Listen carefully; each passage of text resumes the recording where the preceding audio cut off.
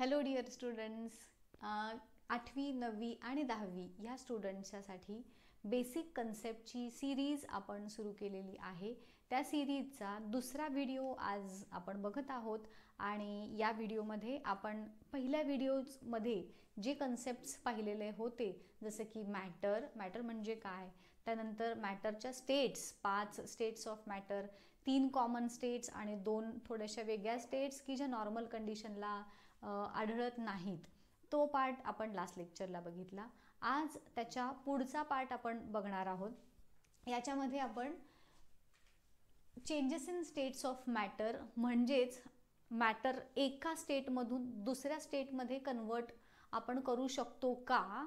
आणि ते कन्व्हर्जन करत असताना कोणते फॅक्टर्स आपल्याला कन्सिडर करावे लागतात?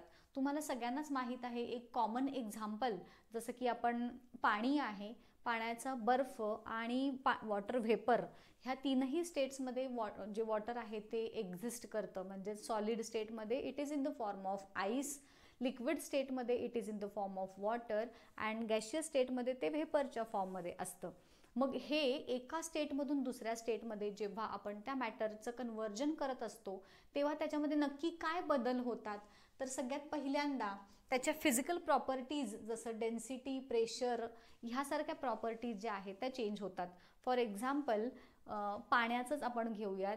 Whenever it is in the form of solid state बर्फाच्या स्टेटमध्ये जेव्हा ते असेल तेव्हा त्याचे पार्टिकल्स हे कम्पॅरेटिव्हली क्लोजर असतात. लिक्विडमध्ये जेव्हा आपण बघितलं तर ते पार्टिकल्स कम्पॅरेटिव्हली दूर जातात. गॅसमध्ये सगळ्यात अजून दूर जातात. सो त्यांच्या फिजिकल स्टेट जसं की डेन्सिटी त्यानंतर त्याचं टेम्परेचर अशा काही फॅक्टर्स यांच्यामध्ये बदल होतात. आणि मग ते मॅटर एका स्टेटमधून दुसऱ्या स्टेटमध्ये त्याचं जे इंटरकन्व्हर्जन आहे ते होतं. त्यानंतर हे चेंज होत असताना फिजिकल चेंजेस जे आहेत किंवा स्टेट ऑफ मॅटर ह्याच्यामध्ये चेंज होत असताना एक गोष्ट नेहमी लक्षात ठेवा की त्याच्यामध्ये केमिकल स्ट्रक्चर त्याचं जे आहे त्या केमिकल स्ट्रक्चरमध्ये अजिबात बदल होत नाहीत ते तसंच राहतं. म्हणजेच बर्फाचं जेव्हा पाणी होतं तेव्हा ते एच टू ओच असतं. जेव्हा तो सॉ सॉलिड स्टेटमध्ये म्हणजेच बर्फाच्या स्टेटमध्ये आहे तेव्हा देखील तो एच टू ओच आहे आणि व्हेपरच्या फॉर्ममध्ये देखील तो एच टू ओच आहे.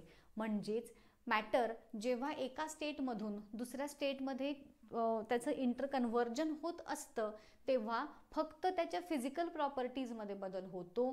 केमिकल प्रॉपर्टीज ह्या तशाच राहतात. ह्या गोष्टी महत्त्वाच्या आहेत ते लक्षात ठेवा.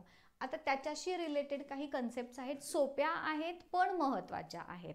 त्यातली पहिली concept that is melting point melting point म्हणजे काय? It is the temperature point आहे. म्हणजेच तो एक प्रकारचं टेम्परेचर आहे की ज्याच्यामध्ये सॉलिडचं कन्व्हर्जन लिक्विड होतं. ॲट ॲटमॉस्फेरिक प्रेशर म्हणजे प्रेशर बदललंय का? नाही. फक्त त्याचं टेम्परेचर बदललं आहे सो ॲट ॲटमॉस्फेरिक प्रेशर हा शब्द त्याच्यामध्ये महत्त्वाचा आहे. नुसतंच मेल्टिंग पॉईंट म्हणजे सॉलिड मधून लिक्विडमध्ये कन्वर्ट होतं त्याला मेल्टिंग पॉईंट म्हणतात. असं म्हटलं तर ती परिपूर्ण अशी व्याख्या होत नाही.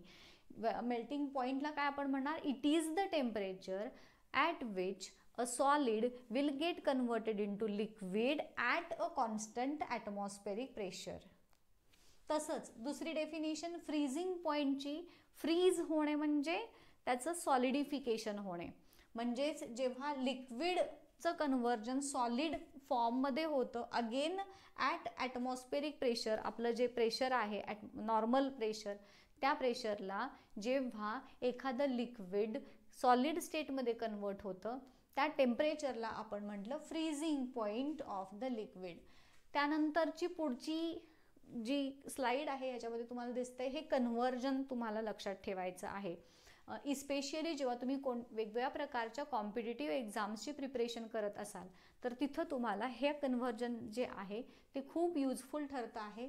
सेल्सिअस डिग्री सेल्सिअस टू फॅरनहाईटमध्ये कन्व्हर्जन करत असताना आपण हा फॉर्म्युला वापरणार. That is F is equal to nine by five into degree Celsius plus thirty two त्यानंतर फॅरनहाईट टू सेल्सिअस ह्याचं कन्व्हर्जन करत असताना Celsius degree Celsius is equal to nine by five ह्याच्या उलट. आणि into bracket F minus thirty two त्यानंतर Celsius to Kelvin यांच्यामध्ये interconversion करताना K is equal to C plus two seventy three आणि केल्व्हिन टू सेल्सिअस करत असताना C is equal to K minus two seventy three. हे अगदी तोंडपाठ करा. मी तुम्हाला जसं बोलले होते लास्ट व्हिडिओच्या वेळेस की ह्याच्यावरती तुम्हाला मी खूप सारे प्रश्न देणार आहे सॉल्व करायला. तर त्याच्यामध्ये ह्याच्यावरती बेस्ड असे खूप सारे प्रश्न आहेत. सो ह्याची प्रॅक्टिस कशा पद्धतीनं होईल ह्याची काळजी मी नक्कीच घेईन. तुम्ही आत्ता फक्त हे फॉर्म्युले लिहून घ्यायचे आणि पाठ करायचे. त्याच्यानंतरचं जी पुढची कन्सेप्ट आहे ती आहे कंडेन्सेशन कंडेन्सेशन म्हणजे काय? तर गॅस किंवा व्हेपर आहे त्याचं कन्वर्जन लिक्विड स्टेटमध्ये होण्याची जी प्रोसेस आहे त्याला कंडेन्सेशन असं म्हणतात. फॉर एक्झाम्पल आपण पाणी किंवा दूध गरम करून ठेवतो. दूध गरम झाल्यानंतर त्या पातेल्यावरती जेव्हा आपण एखादं झाकण ठेवतो आणि थोड्या वेळानंतर ते झाकण जेव्हा उघडतो त्या झाकणाच्या आतल्या बाजूला पाणी साठलेलं असतं. चहा तुम्ही गरम चहा झाकून ठेवलात झाकण उघडलं आतल्या बाजूला पाणी साठलेलं असतं. तर हे जी प्रोसेस आहे त्या प्रोसेसला म्हणायचं condensation it is the process of changing a gas to a liquid by cooling त्याचं कूलिंग होतं.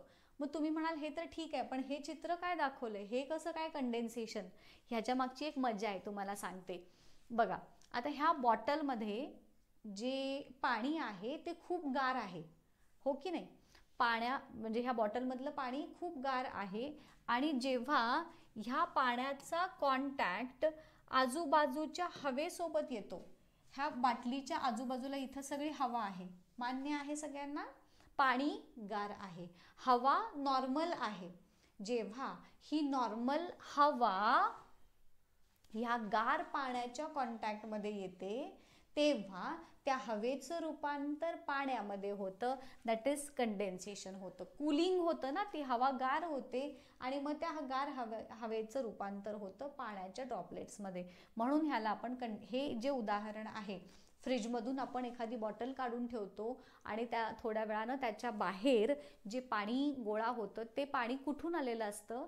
तर आजूबाजूची हवा त्या गार बाटलीच्या कॉन्टॅक्टमध्ये आल्यामुळं त्याचं टेम्परेचर त्या हवेचं टेम्परेचर कमी होतं आणि ती बाजूच्या हवा जी आहे ती पाण्यामध्ये कन्वर्ट होते which is called as a condensation he concept लक्षात आली? त्यानंतरची पुढची कन्सेप्ट जी आहे आपली ती आहे सबलिमेशन सबलिमेशन म्हणजे जे सॉलिड असतो आपला एखादा सॉलिड सबस्टन्स त्याचं डायरेक्टली कन्वर्जन गॅशियस स्टेटमध्ये होतं. जेव्हा आपण त्याला हीट देतो किंवा गरम करतो तेव्हा आपण काय शिकलो आहे की सगळ्यात पहिल्यांदा सॉलिड आहे. सॉलिडचं कन्व्हर्जन लिक्विडमध्ये होतं. मग लिक्विडचं कन्व्हर्जन गॅसमध्ये होतं. बरोबर? परंतु सबलिमेशन होत असताना हे मधली जी स्टेप आहे that is solid to liquid होण्याची स्टेप ही काय होते?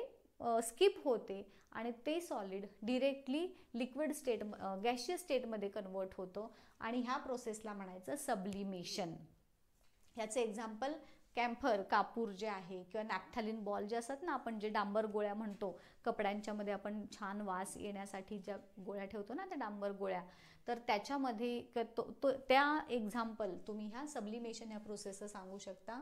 इथं ही जी ॲक्टिव्हिटी दिली आहे काय केलं आहे या एका ह्याच्यामध्ये कंटेनरमध्ये आत कापूर जो आहे तो गरम केला आहे आणि इथं उलटं ते फनेल असतं ते टाकलं आहे गरम झालेला जो कापूर आहे त्याची डिरेक्टली वाफ होते. आणि इथं हे जे दिसतंय तुम्हाला तो सॉलिड फॉर्ममधला कापूर आहे.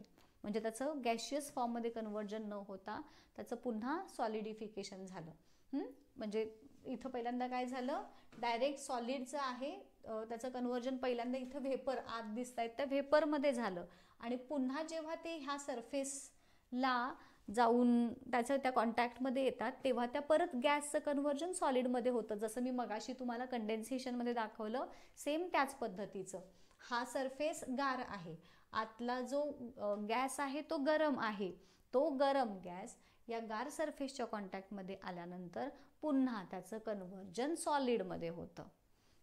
तर हे झालं पुढचं दॅट इज सबलिमेशन आणि नंतरचं जे स्टेट आहे दॅट इज इव्हॉपरेशन इव्हॉपरेशन म्हणजे the process by which liquid gets converted into a gaseous form at any temperature below its boiling point तुम्हाला सगळ्यांनाच माहीत आहे की कोणत्याही लिक्विडला जेव्हा आपण हीट देतो तेव्हा त्या लिक्विड इट स्टार्ट्स बॉइलिंग आणि मग त्या लिक्विडचं कन्वर्जन व्हेपरमध्ये होतं.